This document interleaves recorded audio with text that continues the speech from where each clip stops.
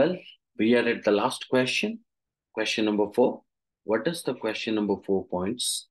Uh, which of the following best describes the role of the moon, stars, and wind in the passage? So, if we observe that uh, the role of the moon, stars, and wind in the passage, we find out in the first pass, first paragraph of the passage.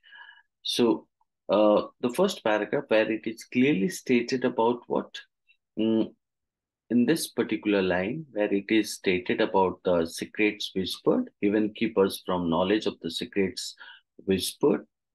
Uh, afterward, upon the tented wind that blew across the scene of the day's work and that night's death and suffering, many a lonely moon was bright upon the battle battleground, and uh, many a star kept mournful.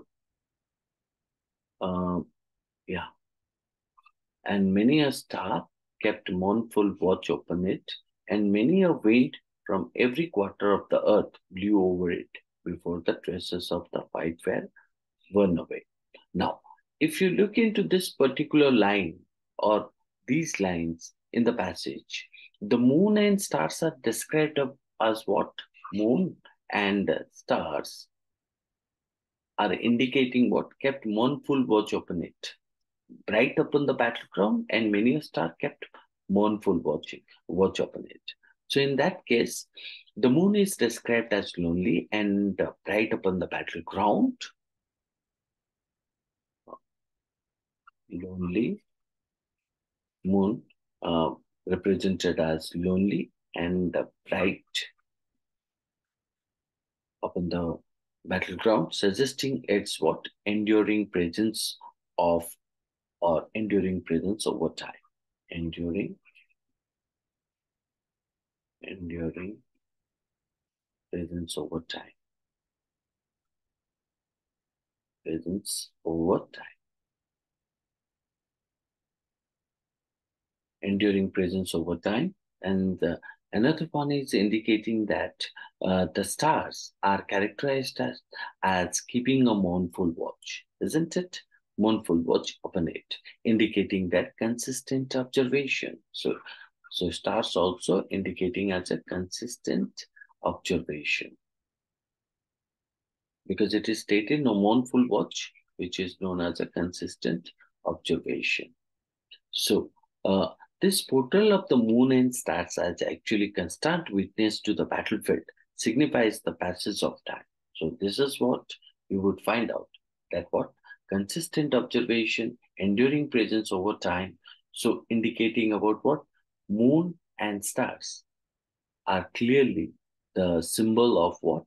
Means constant witness to the battlefield and they signify the passage of time. As nights and days pass and as the moon and stars, as what the line clearly stated what? Means uh, uh, that night's death and suffering and you talk about bright upon the battleground, isn't it?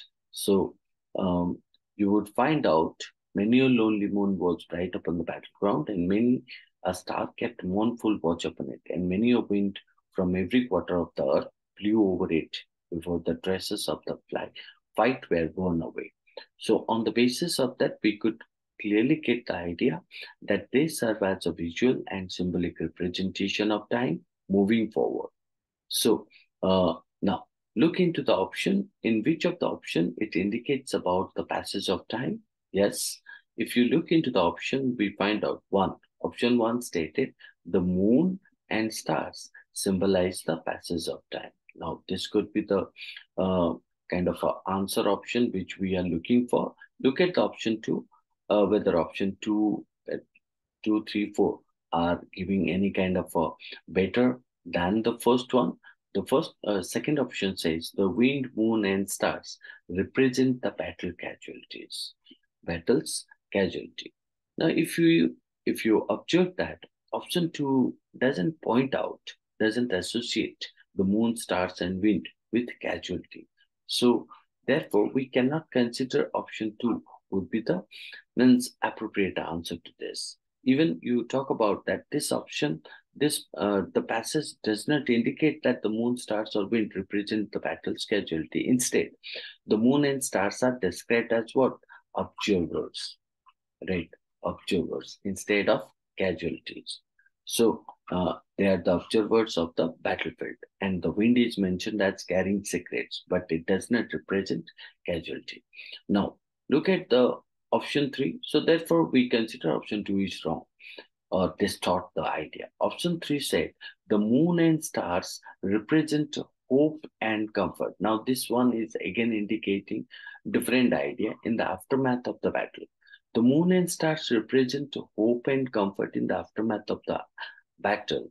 Does it align with the text actually? It doesn't align with the text.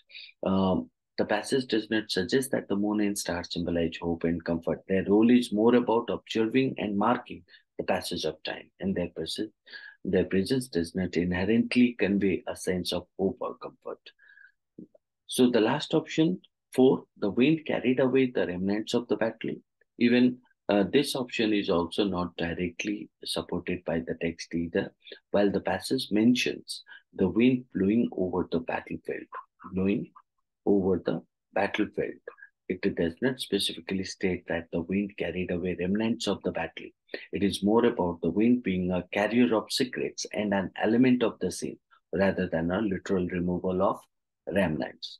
So therefore, we could get that our answer would be option one. Well, yeah. So option two, three, four are wrong on the basis of what? Means indicating about uh, battle's casualty, indicating about hope and comfort, and indicating about the means remnants of battle, which they are not. So the moon and stars symbolize the passage of time is the best description because it aligns with the text portrayal of the moon and stars as silent observer of the battlefield, signifying the passage of time as they continue to shine over the scene. Isn't it? So hence the answer option will be 1. I hope you understood the whole text as well as the question pertinent to it.